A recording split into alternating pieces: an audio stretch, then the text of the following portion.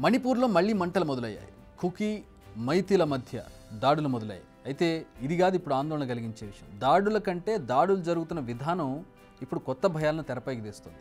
కుకీలు ఏకంగా డ్రోన్స్ ద్వారా బాంబులను జారవిడుస్తున్నారు. దీంతో మణిపూర్ పోలీసులకు వెన్నులో వణుకు ప్రారంభమైంది. ఇంతకీ మణిపూర్లో అసలు ఏం జరుగుతోంది? ఇప్పుడు మిలిటెంట్లకు అడ్వాన్స్డ్ టెక్నాలజీ ఎలా వచ్చి చేరింది? మణిపూర్ అంటే మైతీలు కుక్కీలు దాడులు. ఇదే ఇప్పుడు మణిపూర్ అన్నట్టుగా ఉంది పరిస్థితి. ఆరు నెలలుగా అంత ప్రశాంతంగా ఉందనుకుంటున్న సమయంలో ఆల్ ఆఫ్ సడన్ దాడులకు తెగబడ్డారు కుక్కీలు. మైతీ గ్రామాలను టార్గెట్ చేస్తూ ఈ దాడులు జరిగాయి. ఇందులో పలువురు మరణించారు. పలువురు అని ఎందుకు చెప్తున్నామంటే డెత్ టోల్ ఇంకా పెరుగుతోంది. ఇద్దరు పోలీసులు కూడా తీవ్ర గాయాలయ్యాయి.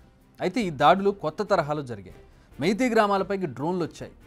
అక్కడి నుంచి బాంబులు జారవిడుస్తున్నాయి ఆ గ్రామాల్లో పరిస్థితి అంత గందరగోళంగా మారిన తర్వాత కుకీ మిలిటెంట్లు ఎంట్రీ ఇస్తూ కాల్పులు జరుపుతున్నారు. దీంతో మణిపూర్ ప్రభుత్వంతో పాటు కేంద్రం కూడా షాక్ అయింది. ఇన్నాళ్ళు కుకీలు సైలెంట్గా ఉంది శాంతి కోసం కాదు ముందు ముందు దాడులకు పక్కా ప్లానింగ్ చేస్తున్నారని ఇప్పుడు తేలిపోయింది. ఎందుకంటే దాడులకు డ్రోన్లను ఉపయోగించడం అనేది మామూలు విషయం కాదు. అక్కడ చాలా కొత్త విషయం అడ్వాన్స్డ్ టెక్నాలజీ. అసలు ఈ డ్రోన్స్ వారికి ఎవరిచ్చారు ఎక్కడి నుంచి వచ్చాయి? వాటిని వాడడంలో వారికి ట్రైనింగ్ ఎవరిచ్చారు ఎందుకంటే ఒక డ్రోన్ ఆపరేట్ చేయాలంటే దాదాపు ఒక ఐదారు రోజుల పాటు ఒక నెల రోజుల పాటు అయినా సరే తీవ్రమైనటువంటి శిక్షణ అవసరం. ఎగ్జాక్ట్గా ఎక్కడ ఏది జారవిడ్చాలో తెలియాలంటే. ఇప్పుడు అది ఇంత ట్రైనింగ్ ఇచ్చి ఇంత సోఫిస్టికేటెడ్ డ్రోన్స్ని వాళ్ళకి సప్లై చేసింది ఎవరనే దాని మీద ఆందోళన నెలకొంది. ఇన్ని ఆందోళనలకు కారణం ఏంటంటే మయన్మార్లో వేర్పాటువాదులు ఏదైతే వ్యూహాలను అమలు చేస్తున్నారో సేమ్ అవే సీన్స్ మణిపూర్లో రిపీట్ అవుతున్నాయి. ఇనిషియల్ రిపోర్ట్స్ ప్రకారం ఈ డ్రోన్స్ అత్యాధునికంగా ఉన్నాయి. మామూలుగా యుద్ధాల్లో మాత్రమే ఇలాంటి వ్యూహాలను అమలు చేస్తారు. మరి ఈ వ్యూహాలను ఎవరు రచిస్తున్నారు? ఇప్పటికే మణిపూర్ సర్కార్ ఈ దాడులను స్టడీ చేయడానికి ఒక ఉన్నత స్థాయి కమిటీని ఏర్పాటు చేసింది. అంతేకాకుండా మణిపూర్ పోలీసులు నేషనల్ సెక్యూరిటీ గార్డ్స్ హెల్ప్ తీసుకోవడానికి ప్రయత్నిస్తున్నారని కూడా తెలుస్తోంది. నిజానికి కుక్కీల వద్దకు ఇంతటి అత్యాధునిక ఆయుధాలు డ్రోన్స్ వచ్చాయంటే మన ఇంటెలిజెన్స్ ఏజెన్సీలు ఫెయిల్ అయినట్టు. సరిహద్దు అవతల నుంచి కుక్కీలకు సాయం అందుతుందని తేలిపోయింది. దీన్ని అరకట్టకపోతే మనం భవిష్యత్తులో మూల్యం చెల్లించుకోక తప్పదు. ఇప్పటికే కుక్కీలు మైతీలకు మధ్య బఫర్ జోన్లు పెట్టారు. భారీగా భద్రతా బలగాలను మోహరించారు కానీ ఫలితం కనబడడం లేదు.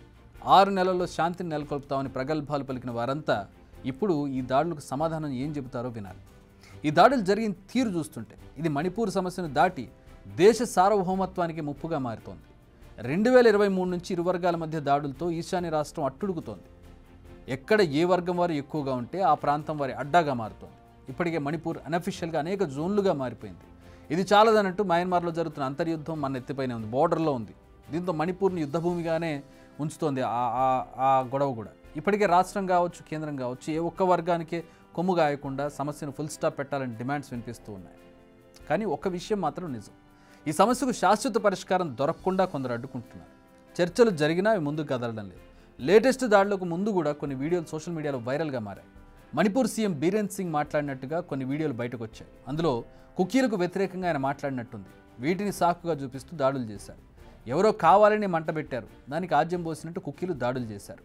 ఇప్పుడు తెర వెనుక తతంగం నడిపించిన వారు ఎవరో కానీ వారంతా మంటల్లో చలి కాగుతున్నారు ఇప్పుడు మణిపూర్ ప్రభుత్వం కేంద్రం రెండు కూడా రెండు యుద్ధాలు చేయాలి. ఒకటి ఈ మోడర్న్ వార్ఫేర్ను సమర్థంగా ఎదుర్కోవడం.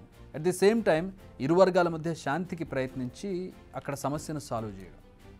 ఇంకెంతకాలం ఈ రావణ కాష్టం రగులుతుందనేది వేచి చూడాలి. బిగ్ టీవీ అవుట్లుక్ కథనాలు నచ్చితే వెంటనే బిగ్ టీవీ ఛానల్ను సబ్స్క్రైబ్ చేయండి.